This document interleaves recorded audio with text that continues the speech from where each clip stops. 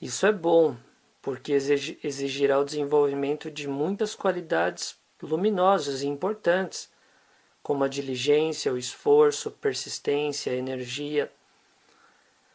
Então, tome esse treinamento como um desafio que desenvolverá naturalmente muitas qualidades excelentes no coração. Ou seja, a gente tem que desenvolver diligência, esforço, persistência, energia, resistência. Se a gente buscar cultivar essa meditação guiada, essas coisas vão surgir naturalmente. Quando alguém encontra o caminho correto e começa o cultivo do próprio coração, dá para perceber que há um processo natural em andamento. Ou seja, tem o início com bastante esforço e paciência, e com a prática, com o cultivo dedicado, se torna um processo bastante prazeroso e também muito mais acessível, mais fácil de entender. O começo pode ser árduo, mas conforme a sabedoria vai crescendo, a tranquilidade e a quietude também se tornam mais presentes e profundas. Essas qualidades de compreensão profunda, visão direta e tranquilidade vão se autossustentando harmoniosamente conforme o treinamento do coração avança. É como aprender a tocar algum instrumento musical. No começo não sabemos nada, não temos técnica, não temos conhecimento algum. Estamos estagnados. Temos que treinar, treinar, praticar, praticar. E com o tempo, com o treino, esforço, dedicação, começaremos a entender melhor do que se trata. Teremos uma noção mais clara do que deve ser cultivado e como deve ser cultivado.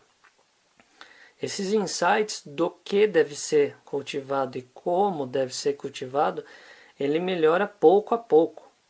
Não tem outra forma. É o desenvolvimento da própria sabedoria é a sabedoria em relação ao desenvolvimento da própria sabedoria.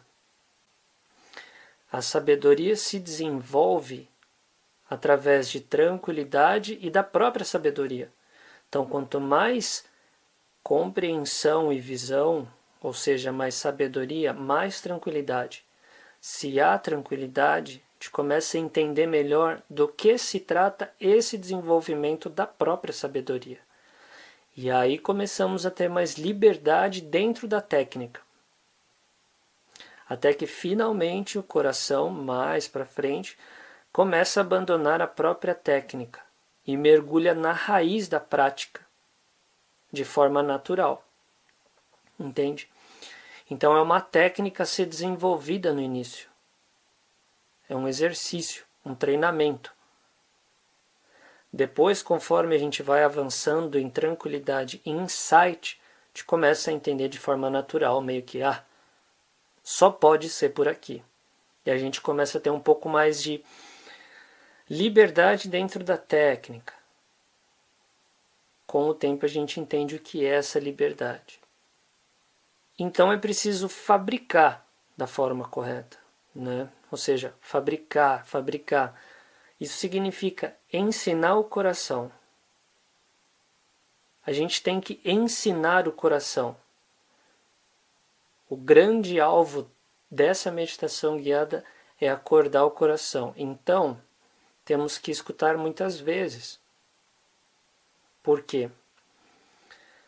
Os humores mudam, as sensações mudam, tudo muda. Essas coisas são obstáculos na prática. Então a gente tem que estar tá sempre ouvindo para que surjam insights de determinadas partes desse processo. Isso vai acontecer de forma natural. Não pode ter pressa. Impaciência está fora de questão, fora de cogitação. Cada estágio é importante e necessário como suporte para o próximo. Cada estágio melhora com o tempo e com a prática.